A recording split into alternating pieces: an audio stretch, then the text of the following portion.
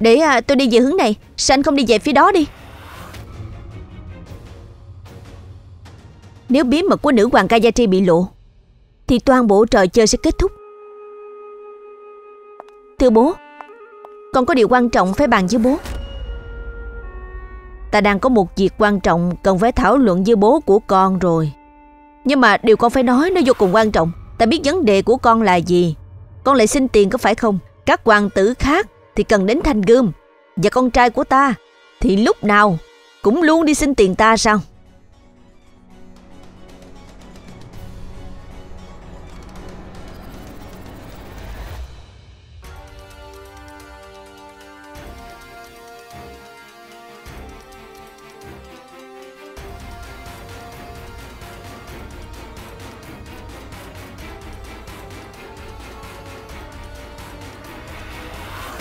Nghe nè, tôi đã tìm kiếm khu vực này. Tại sao anh không đi tìm kiếm ở đằng đó đi? Đi đi nào.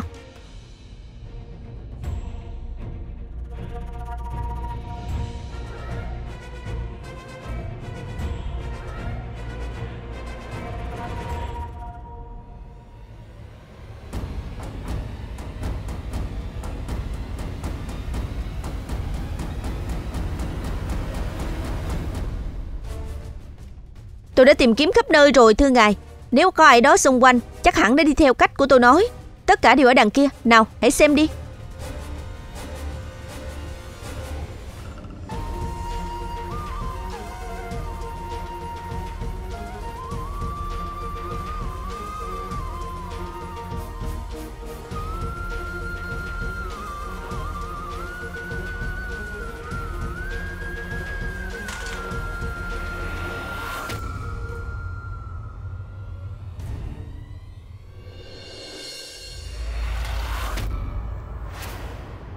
Bệ hạ, Không có ai ở đằng kia cả.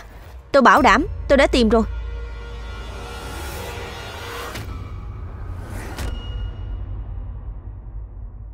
Người có thấy quý cô nào ở đây không?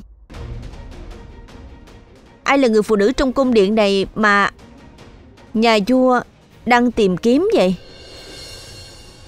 Một người đã chết, Và người kia đang ở trong cung điện sao? Giờ ai là người thứ ba vậy? Người vợ lừa dối của ta Gayatri nhưng mọi người đều nói rằng vợ người đã chết rồi. Cô ấy không còn sống nữa. Không, cô ta còn sống và cô ta đang ở trong cung điện này. Ta chắc chắn sẽ trừng phạt cô ta về sự lừa dối của mình. Vợ ngài còn sống sao? Đó là tin tốt mà. Người ta có thể đối phó với lời cằn nhằn kêu ca. Vấn đề này đã vượt xa sự cằn nhằn rồi. Chắc chắn ta sẽ rất vui vì cô ấy còn sống. Để ta có thể tự mình giết chết cô ấy. Nhưng mà, thưa ngài.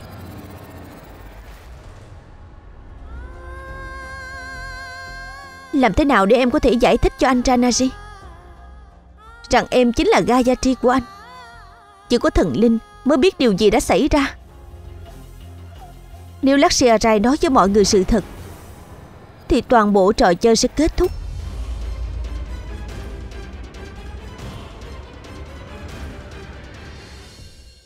Tại sao Ranaji cảm thấy rằng Gayatri đã ở đó? Ngày ấy có bị say không vậy? Thưa, tôi cảm thấy. Cha Còn có việc ở đây không vậy, hoàng tử? Mọi người đang thảo luận chính trị. Hãy đi ra ngoài đi. Đi đến võ đài.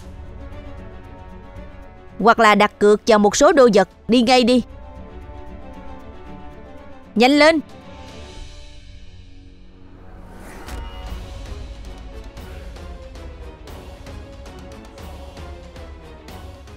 Ta không thể nào nhịn được cười. Ranaji sẽ như thế nào?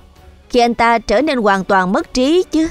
Cười. Hãy cười thêm lần nữa đi. Nhưng hãy nhớ rằng, Những người cười khi đến giờ làm việc Thì họ phải khóc khi biết kết quả thôi.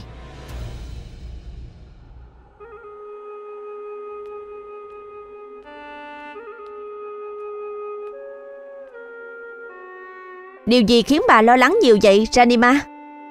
Đây là lần đầu tiên Ta không thể nào kiểm soát ra Nazi. Nam châm của ta không có tác dụng với anh ta.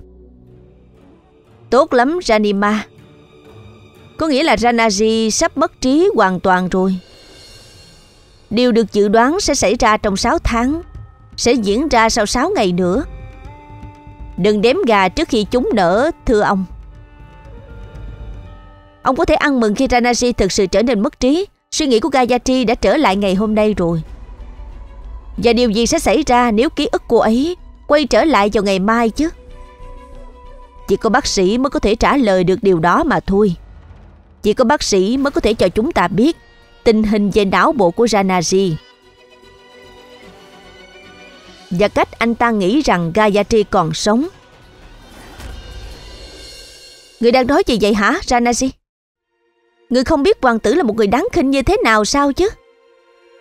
Tại sao anh ta lại phải giúp chúng ta. Tôi biết chứ. Nhưng mà chúng ta không có bất kỳ sự thay đổi nào vào thời điểm đó. Lexia Rai bắt quả tang tôi. Nếu tôi yếu đi vào thời điểm đó, Thì kế hoạch của chúng ta sẽ kết thúc ngay bây giờ. Tuy nhiên, tôi không thể nào tin anh ta. Bản thân một số người không biết họ sẽ làm gì. Tuy là rất liều lĩnh, Nhưng mà tôi phải chấp nhận rủi ro này. Tôi rất lo lắng về Ranaji. Chỉ có thần linh mới biết anh ấy phải như thế nào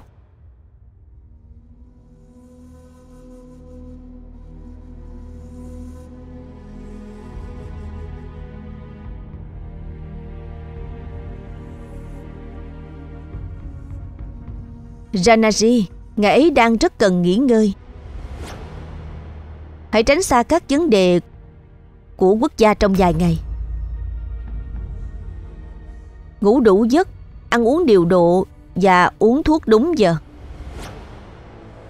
Thưa bác sĩ, tôi sẽ đưa anh ra ngoài. Thưa bác sĩ, tôi cần hỏi anh một điều. Ừ, có cách nào để đảm bảo rằng Ranaji không à, lấy lại trí nhớ không? Jaget Wati, ta sẽ không để ý định xấu xa của cô thành công đâu, ngay cả khi ta trở thành bạn với kẻ thù.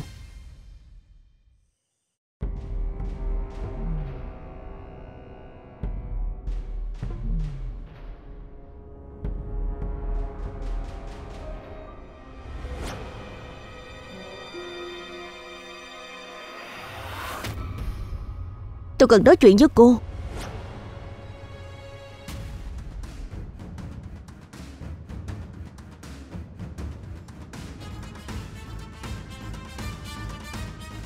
Tôi có một chuyện riêng muốn nói chuyện với người.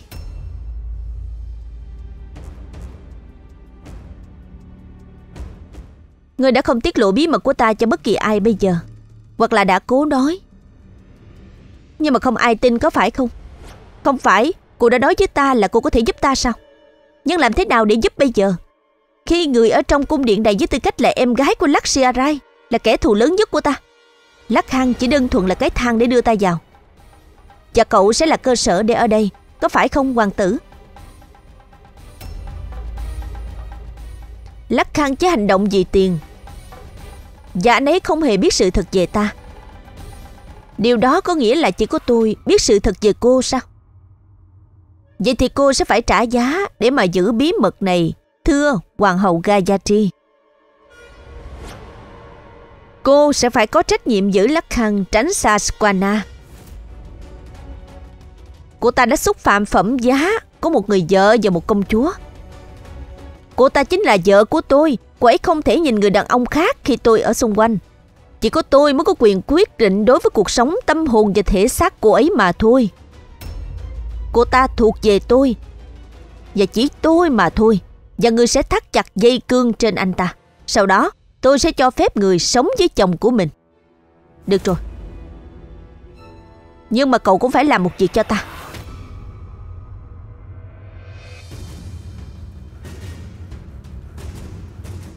Ta chấp nhận lời đề nghị của cô.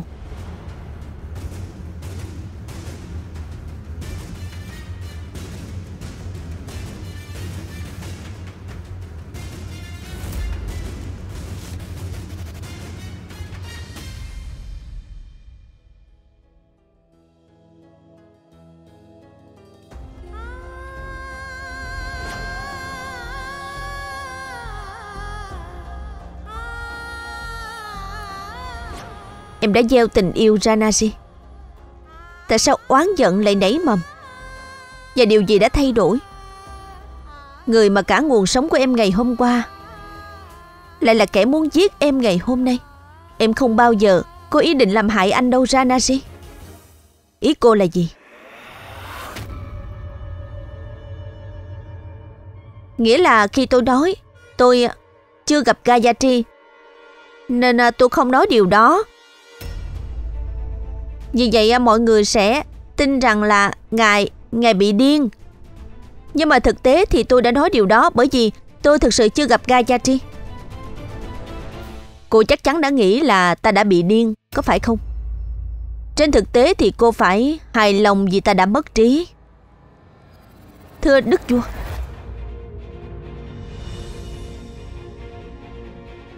Tâm trí không phải là một đứa trẻ 3 tuổi đâu Mà có thể bị mất Ý tôi không phải là đôi mắt của ngài, Không nhìn thấy những gì mắt tôi đã không nhìn thấy. Ngài tưởng mình đã thấy vợ cũ. Và cố bóp cổ cô ấy, Ngài chắc chắn đã làm điều đó. Có gì phải nghi ngờ chứ, Có phải vậy không? Tất cả mọi người đang nói rằng, Không phải cung điện này thuộc về ngài sao? Đúng. Nếu cung điện này thuộc về ngài, Thì tại sao mệnh lệnh của người Không có hiệu lực trong cung điện này chứ? Ngài có một quân đội lớn như vậy trong cung điện này Chú, dì và vợ mới của ngài. Họ coi thường tất cả những gì ngài nói. Họ ngắt lời trước khi lắng nghe ngài. Và họ nên nghĩ rằng Nhà vua có thể đúng. Tôi Có thể nói điều này không? Nếu mẹ ngài ở bên ngài hôm nay Tôi không nên có cuộc nói chuyện với cô hôm nay. Tránh đi chỗ khác đi. Hãy để ta yên.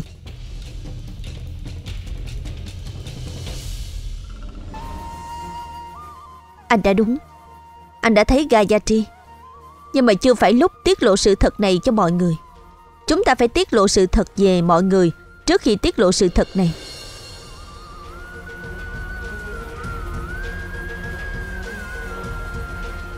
Làm việc này như thế nào bây giờ, Thưa nữ hoàng? Làm sao người có thể hứa với hoàng tử, Tôi sẽ tránh xa công chúa?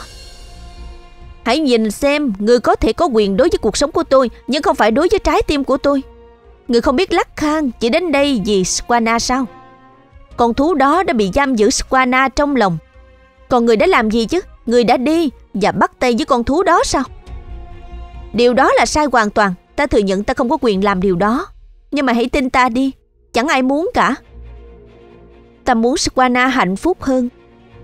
Nhưng mà ta không có lựa chọn nào khác. Ngay cả tôi cũng muốn trả lại hạnh phúc Squana cho cô ấy. Và chỉ có Ranaji mới có thể trả lại hạnh phúc cho cô ấy mà thôi. Không phải Ranaji của ngày hôm nay, Một khi Ranaji cũ trở lại, Anh ấy sẽ không cho phép bất cứ ai hành hạ Squana Người à Người đã nói đúng về Ranaji. Nghe nè, tôi xin lỗi. Tôi à, đã để cảm xúc lấn át rồi. Hãy nói cho tôi biết chúng ta phải làm gì bây giờ. Tôi sẽ giúp đỡ người. Nếu chúng ta muốn xóa bỏ lòng căm thù trong tâm trí Ranaji đối với Gayatri, thì chúng ta phải nói cho Ranaji biết tất cả sự thật. Chúng ta phải nói với Ranaji những gì đã xảy ra ở ngọn núi vào ngày hôm trước. Nhưng mà để nói cho anh ấy điều này, ta cần sự giúp đỡ của Thái Hậu. Lắc khăn. ta phải gặp Thái Hậu một lần nữa. Người đó đúng, nhưng mà người có tin hoàng tử không? không tiết lộ bí mật của mình đó. Không. Ta buộc phải nói cho Lakshya Rai biết bí mật của mình, nhưng mà ta tin tưởng hắn ta. Thì thật là ngu ngốc. Làm gì có người đàn ông nào không chung thủy với vợ mà lại chung thủy với ai khác chứ?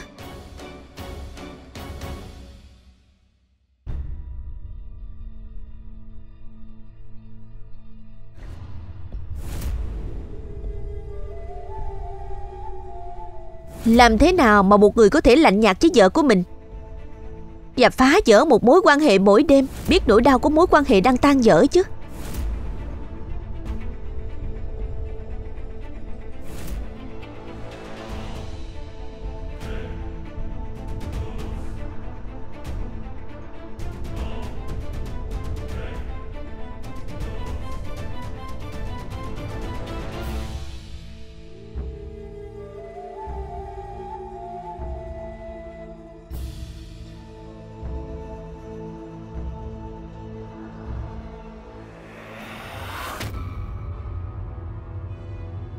Lắc xe ra.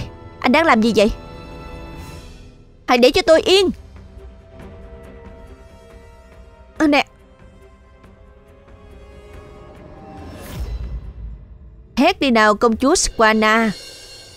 La hét đi nào. Không ai sẽ nghe thấy đâu. Người đâu?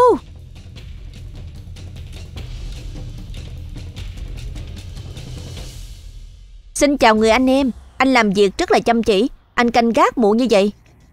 Hãy làm một miếng trầu baranat đi nào, Anh sẽ cảm thấy sảng khoái đó. Được không nào? Ăn đi, thử đi nào.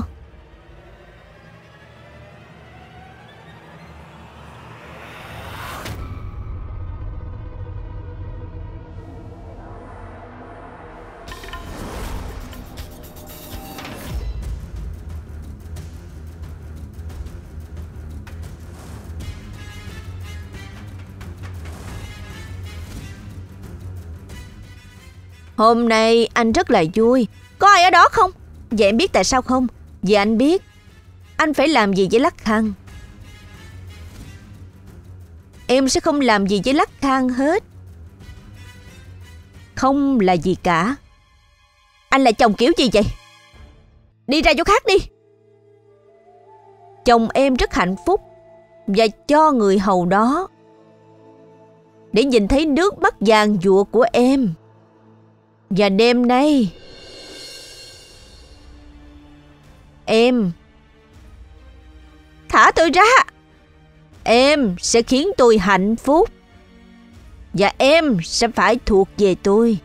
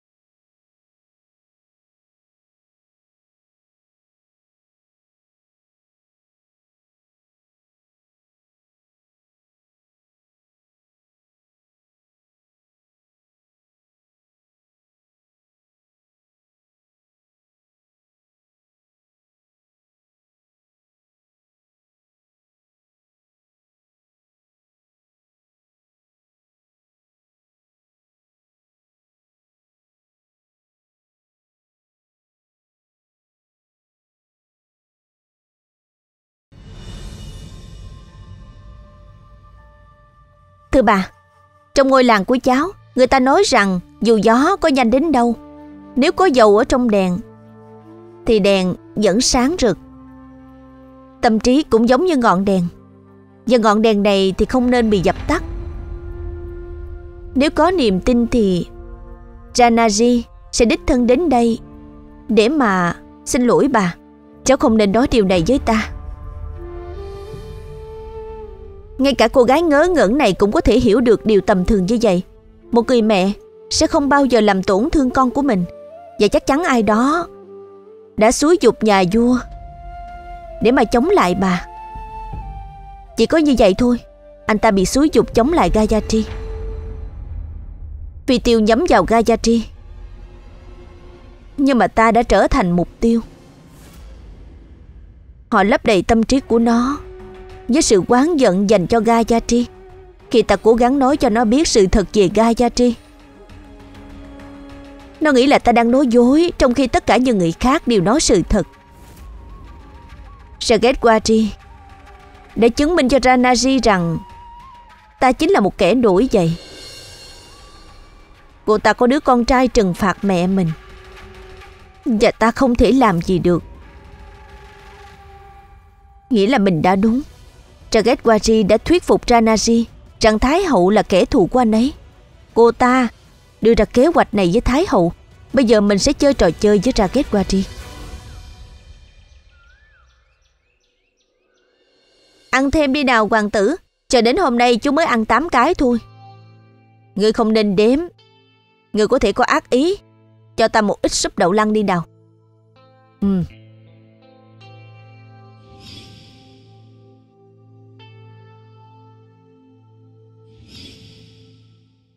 Ranaji.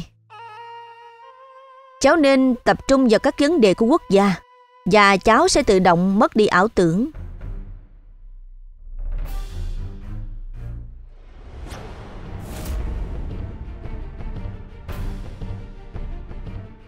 Thưa đức vua, Hãy thử ăn món này với hạt tiêu đen đi nào.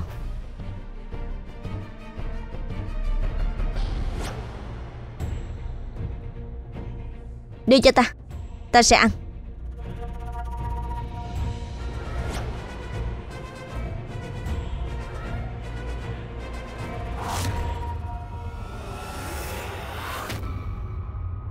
Người quá là sức sượt rồi.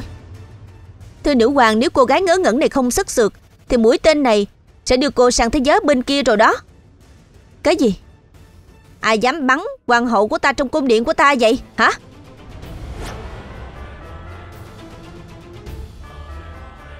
Đi, hãy xem đó là ai nào.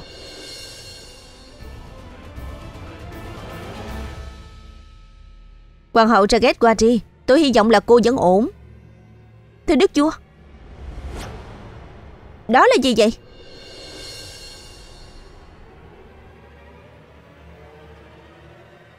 Kẻ phản bội, Nếu cái chết đến về phía ta, Ngay cả ngươi cũng sẽ không trốn thoát.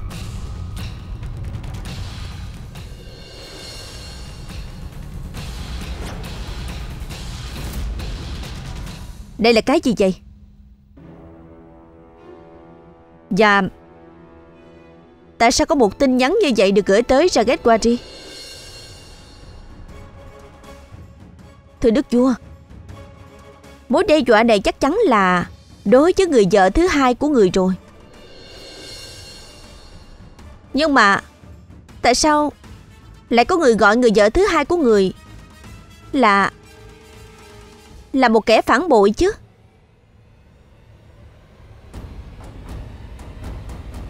Cô ấy có đang lừa dối ai không? Nhưng đó là ai chứ? Và hắn ta đã biến mất ở đâu?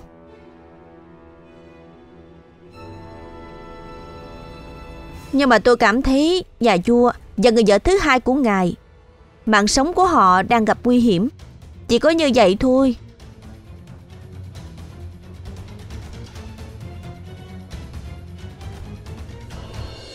Những gì Ranaji nhìn thấy chỉ là một ảo giác.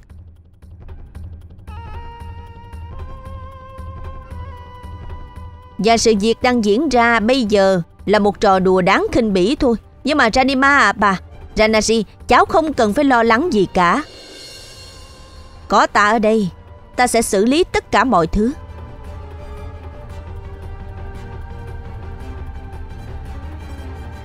Bà đi Ranima nói đúng Ranaji. Nếu một âm mưu đang diễn ra trong cung điện này ngày hôm nay, Thì trách nhiệm của chúng ta là Dạch trần nó. Cháu không cần phải lo đâu.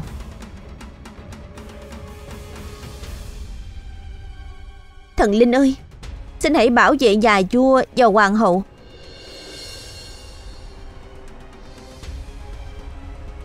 Chúng ta đã bắn trúng hồng tâm rồi.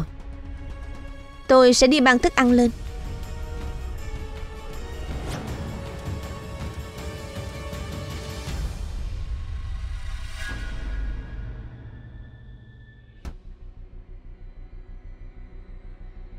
Nữ hoàng Gayatri Tôi và cô đã thỏa thuận rồi, Nhưng mà tôi chỉ cảm thấy mình đang hoàn thành phần cuối cùng của thỏa thuận. Cô không làm gì cả để mà giữ Lắc Khang tránh Sasquana Có nghĩa là ta nên bảo vệ họ mọi lúc sao Ta đã hứa với cậu là Lắc Khang sẽ không đến gần Squana mà. Làm chồng chính là quyền, Và ta đang giữ thực hiện lời hứa đó. Nếu cô đang cố gắng dở trò với tôi thì hãy nhớ rằng tôi sẽ đi nói với tất cả mọi người. Cô đã ra lệnh cho mũi tên bắn trúng Jaget Quadri Hãy đi và nói đi. Nhưng hãy nhớ rằng, Cùng với sự thật về ta, Thì cậu cũng phải trả lời cho mọi người. Tại sao không đi nói với mọi người chứ? Nếu cậu biết sự thật về ta trong rất nhiều ngày, Và không chỉ có vậy Cậu sẽ không được lợi khi mà nói sự thật về ta đâu. Nếu cậu giữ bí mật, Thì ta có thể giúp cậu Vào một thời điểm nào đó mà. Rai Cậu đang làm gì vậy?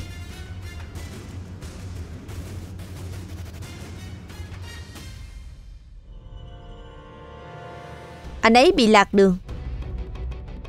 Và tôi chỉ là chỉ cho anh ta con đường thôi. Hoàng tử à Lối đó dẫn đến phòng của anh. Không phải lối này đâu. Hãy đi ngay. Và tránh ra đi. Được không nào? Đi đi.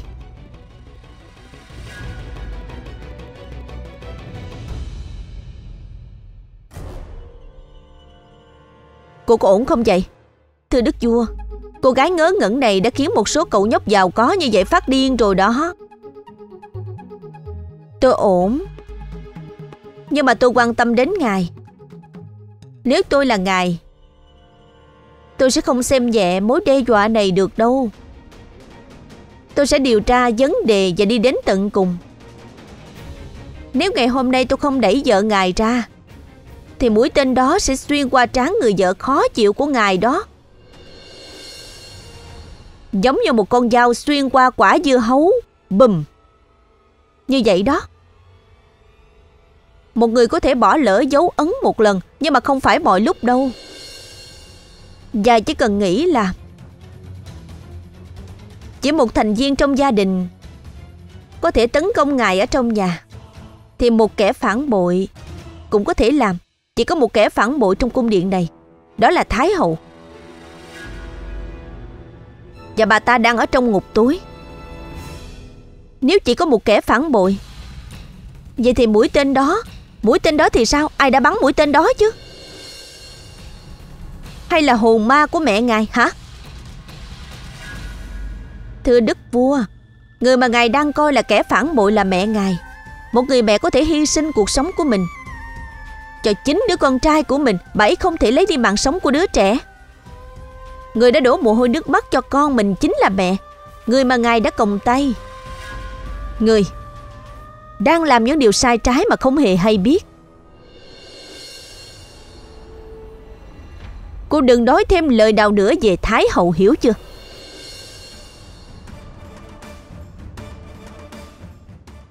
Đức vua, Ngài nghe người ngoài nói. Không phải là nghe trái tim của mình.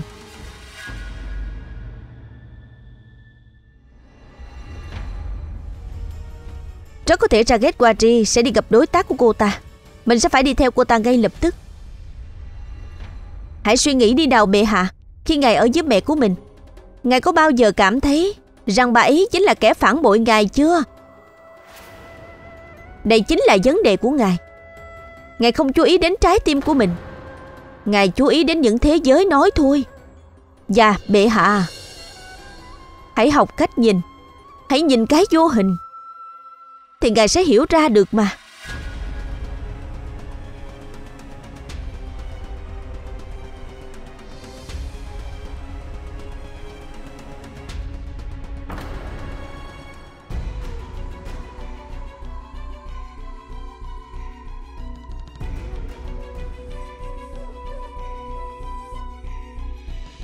Bà đã cố gắng giết tôi Janima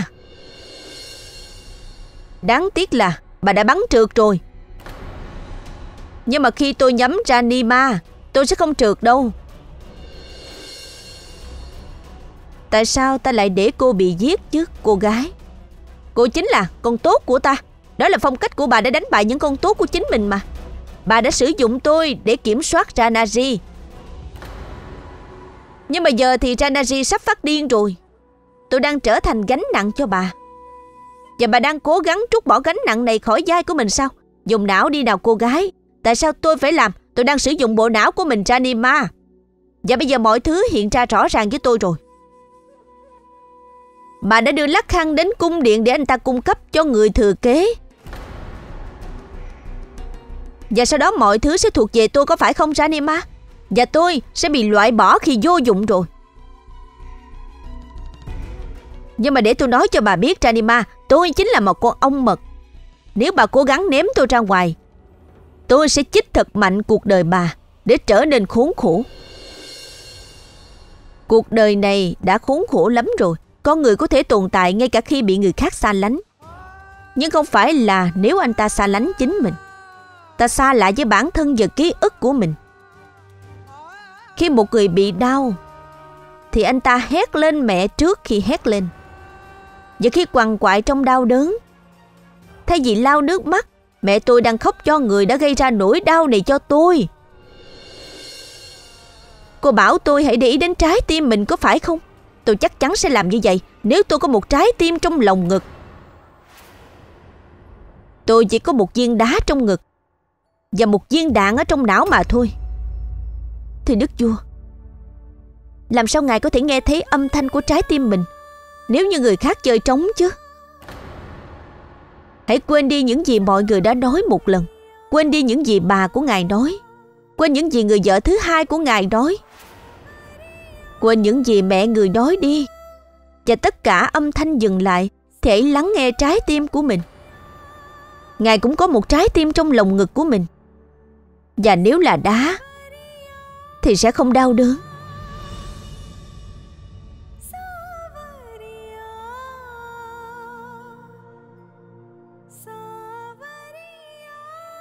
Mình có cảm giác Jagetwari đã đi gặp đối tác cô ta Mình phải đi theo dõi cô ta ngay lập tức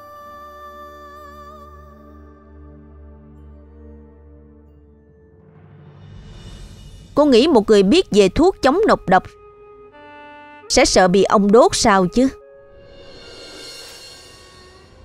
Hử? Trên thực tế thì ta nghĩ rằng chính cô đã ra lệnh bắn mũi tên đó để có được sự đồng cảm của Ranaji. Phải không nào? Bà nghĩ rằng tôi sẽ mạo hiểm mạng sống của mình để có được sự đồng cảm của Ranaji sao? Tôi có thể đã mất mạng trong cuộc tấn công này đó Ranima. Cô có thể đã mất nó, nhưng mà cô đã không mất. Bà có bị điên không vậy? Chẳng lẽ tôi phải hy sinh cuộc sống của mình để bà tin tôi sao? Và tôi không muốn sự đồng cảm của Ranaji. Tôi muốn một người thừa kế. Và điều đó vẫn chưa xảy ra. Mình phải tìm ra ai là đồng bọn của Raget Quadri. Mình sẽ phơi bày cả hai cho Ranaji. Cô có nghĩ là Người mà ta không thể kiểm soát bằng thôi miên, Thì cô có thể kiểm soát cái vẻ đẹp vô giá trị của mình mà đúng không? Đừng quên vị trí của mình, cô gái à Cô là một con khỉ nhảy theo giai điệu của ta. Đó là tất cả.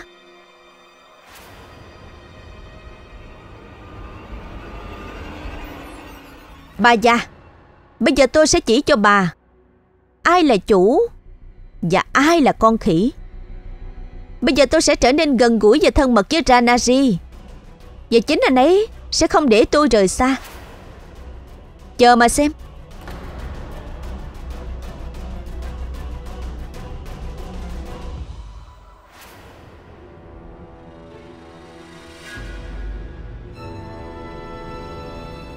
Tại sao Jacket Wari lại tức giận như vậy? Có lẽ cô ta đã cãi nhau với đồng bọn của mình. Nhưng Không ai ra khỏi phòng hết. Điều đó có nghĩa là Đồng bọn của Jacket Wari Vẫn còn đang ở trong phòng.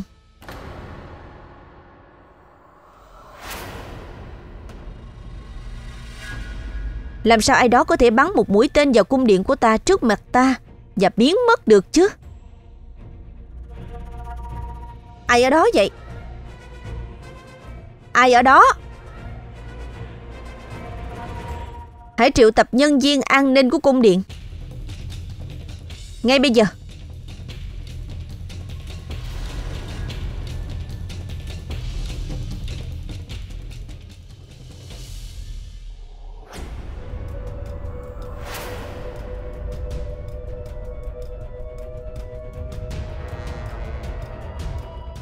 Không có ai ở đây hết.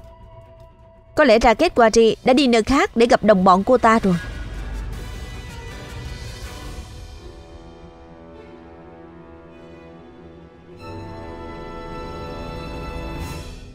Tại sao mình có cảm giác Mình đã rất gần với mục tiêu của mình, Giống như mọi thứ đang ở trước mặt của mình, Nhưng mà mình không thể nhìn thấy? Có vẻ như câu trả lời cho câu đố này đang ở trước mặt mình Và mình đang mất tích, Mặc dù đã nhìn thấy nó.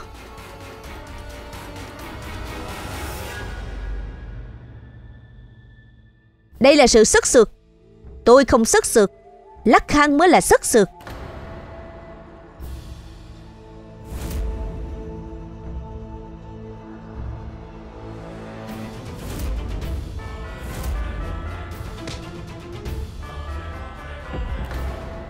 Cuộc vui của tôi đã bị bỏ dở bởi vì Tranashi đã đến đó. Vì vậy hãy hoàn thành đó đi. Cô không thể nào ngăn chặn Lắc Khang. Vì vậy tôi sẽ không thể nào giữ bí mật cho cô. Cô hãy làm điều gì đó nhanh đi nào. Cậu đang đe dọa ta sao? Không. Ta đang cố giải thích cho cô. Cậu nên hiểu. Cậu càng làm tổn thương cô ấy, Lắc khăn sẽ càng đến gần cô ấy hơn. Tôi không muốn lời khuyên của cô. Tôi muốn một lời hứa. Và cô không hoàn thành. Vì vậy bây giờ, Cô đang phá vỡ thỏa thuận của chúng ta. Chờ đã, hoàng tử. Ta chấp nhận những gì cậu nói. Lắc khăn sẽ tránh xa Squana.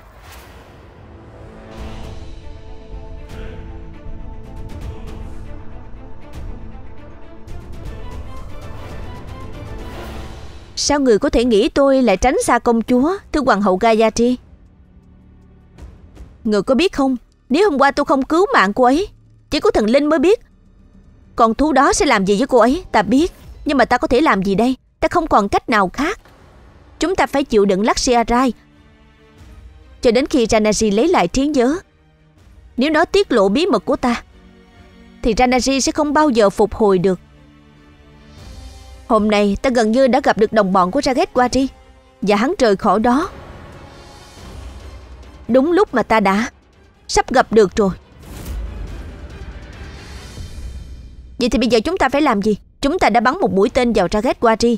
Vì vậy, cô ta sẽ trở nên kích động và gặp đối tác của mình.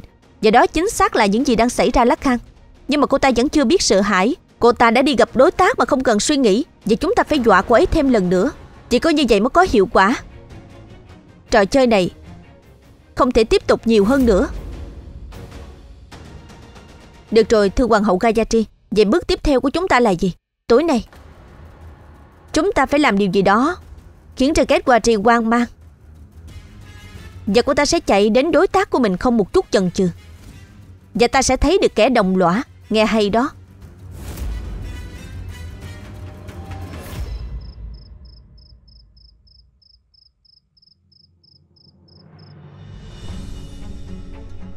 Nếu không ai vào cung điện từ bên ngoài. Vậy thì sự việc diễn ra Là do người trong cuộc rồi. Có thể nào một thành viên của gia đình mình Đang giữ bí mật với mình không chứ Ranaji Con không cần phải lo lắng điều gì hết Ta ở đây Ta sẽ xử lý mọi thứ Badi Ranima nói đúng Ranaji à nếu một âm mưu đang diễn ra trong cung điện này ngày hôm nay thì chúng ta có trách nhiệm dạch trần đó, con không cần lo. Ranaji, có chuyện gì vậy? Sao trông cháu có vẻ rất là lo lắng? Ranima, bà có nghĩ rằng cháu có trắng trên cỏ ở đây không? Ai đó trong gia đình là kẻ thù của cháu. Điều gì khiến cháu nghĩ như vậy?